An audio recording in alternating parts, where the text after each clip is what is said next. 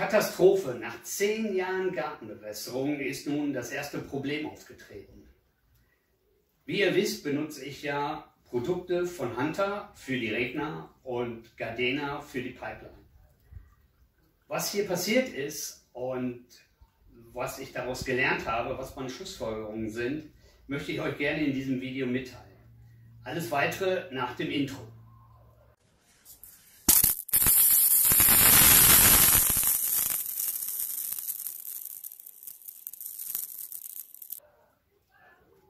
Vor kurzem stand ich also abends am Terrassenfenster und wollte mit dem Smartphone meine Gartenbewässerung aktivieren. Und ähm, ich drückte dort eben auf den Button äh, Rasenbewässerung aktivieren und da passierte es dann. Im Augenwinkel, als ich äh, sah, wie die Regner anfingen zu, äh, zu sprengen, sah ich plötzlich einen schwarzen Schatten, der rechts irgendwo über die Wiese flog. Äh, ich hatte sofort die Gartenbewässerung wieder ausgemacht, weil die anderen Regner plötzlich auch nicht mehr funktionierten. Und ja, dann bin ich rausgegangen und habe mir das Elend angesehen. Was ich auf dem Rasen fand, war mein Getrieberegner von Hunter. Ähm, ich sah ja im Augenwinkel, dass er ungefähr so zwei Meter weit geflogen war. Und so fand ich ihn auch in dem Umkreis von der Stelle, wo er sich eigentlich hätte aufhalten sollen. Als ich ihn näher betrachtete, sah ich dann, dass, vielleicht könnt ihr das erkennen, aber wir gucken uns das nachher nochmal äh, kleiner an, ähm, der Anschluss an der Gardena Pipeline war gebrochen gewesen. Und wenn man sich das mal anguckt, ich habe das hier ähm, ausgebaut, ich zeige es euch gleich nochmal. Genau in diesem Knick, in diesem Knick ist, die, ist der Gardena Verbinder gerissen.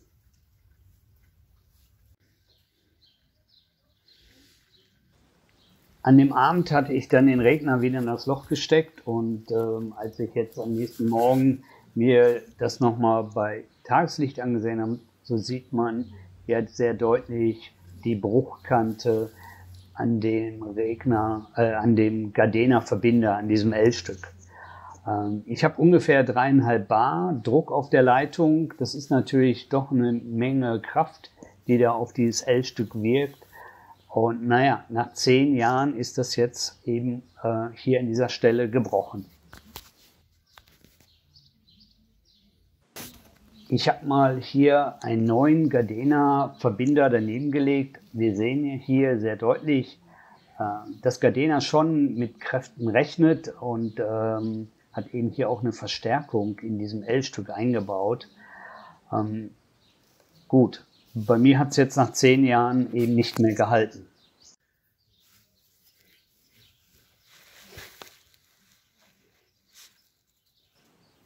Somit kam jetzt die Fleißarbeit, den Regner auszugraben, ähm, das L-Stück äh, jetzt von der Pipeline abzuziehen und anschließend ihm ein neues L-Stück wieder aufzusetzen und den Regner wieder aufzuschrauben.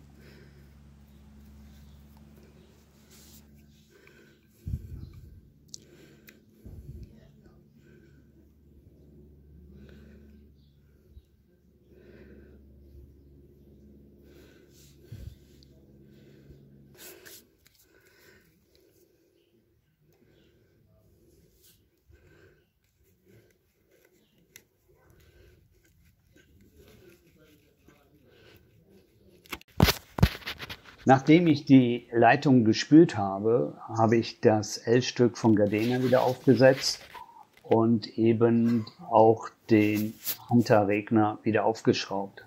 Und somit ist diese, dieses Problem jetzt beseitigt. Ja, welche Erkenntnis haben wir jetzt daraus gewonnen? Ähm, nachdem jetzt also der Schaden behoben wurde, habe ich mir natürlich Gedanken gemacht, woran kann es liegen. Zum einen kann es Materialermüdung sein nach zehn Jahren von den Gardena Verbindungselementen. Zum anderen kann das eben auch eine, durch eine Kombination von Materialermüdung und dem Druck, der durch diese Hunter-Getrieberegner, wir haben ja 3,5 Bar auf der Leitung und äh, es wird eben an dieser Stelle ein hoher Druck aufgebaut, damit die Getrieberegner ja auch äh, aktiv werden, dass diese Kombination eben dort die Ursache sein könnte für diesen Materialbruch. Ich habe mir dann überlegt, wie viele von diesen L-Stücken habe ich in meiner Pipeline. In Summe bin ich auf fünf gekommen. Ähm, nicht an jeder Stelle ähm, ist ein Getrieberegner drauf. Es sind eben auch andere äh, Düsen äh, bei mir im Garten äh, auf der Pipeline installiert. Und ich habe auch bei vielen äh, dieser ähm, ähm, Regner eben äh, solche Elemente wie dieses hier von Hunter äh, installiert oder es gibt eben auch die vergleichbaren Produkte äh, von Gardena, die eben flexiblen Schlauch hier in der Mitte haben äh, und damit ähm, kann man natürlich einerseits den Regner besser positionieren. Äh, das war auch der Grund, weswegen ich diese äh, Elemente dort installiert habe. Äh, zum anderen wird eben auch der Druck nicht an der Stelle auftreten, wo er jetzt bei diesem Getrieberegner aufgetreten ist. Ja, das ist so mein Fazit. Ich gehe davon aus, okay, nach zehn Jahren kann mal was kaputt gehen. Ähm, der Schaden war jetzt nicht so groß. Was kostet dieses L-Stück? Irgendwo Größenordnung 2 Euro. Ähm, so, der Aufwand ist natürlich da. Das ist natürlich unschön. Äh, man muss die Grasnahe öffnen. Okay, aber nach zehn Jahren kann sowas passieren. Ähm, die Katastrophe, so wie ich sie anfangs ernannt, genannt habe, ist wahrscheinlich nur eine kleine Katastrophe gewesen. Im Aufwand ein, zwei Stunden, um das wieder äh, zu regulieren. Äh, somit werde ich auch nicht aktiv die anderen ähm, L-Stücke irgendwie ausbauen, erneuern oder gleichen, sondern schauen wir mal, was passiert. Ich würde mich freuen, wenn ihr eure Kommentare mal mir dazu gebt. Was habt ihr für Erfahrungen mit diesen Gardena-Elementen? Ist bei euch auch sowas schon mal gebrochen? Ist sowas aufgetreten? Würde mich freuen über eure Kommentare. Wenn du nichts mehr verpassen möchtest zum Thema Gartenbewässerung, dann kannst du gerne meinen Kanal kostenlos abonnieren und gib mir doch einen Daumen nach oben, wenn dir mein Video gefallen hat.